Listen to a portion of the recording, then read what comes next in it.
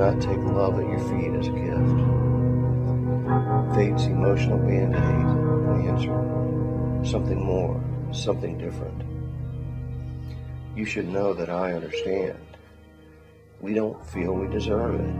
We don't know if we can believe it exists.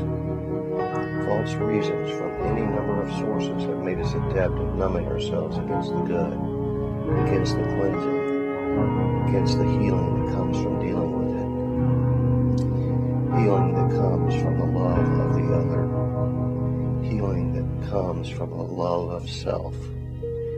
Healing that comes from love for another. Yet, it is easier to build walls, to hate ourselves in secret, to put on a happy face until the cracks get too deep or worse.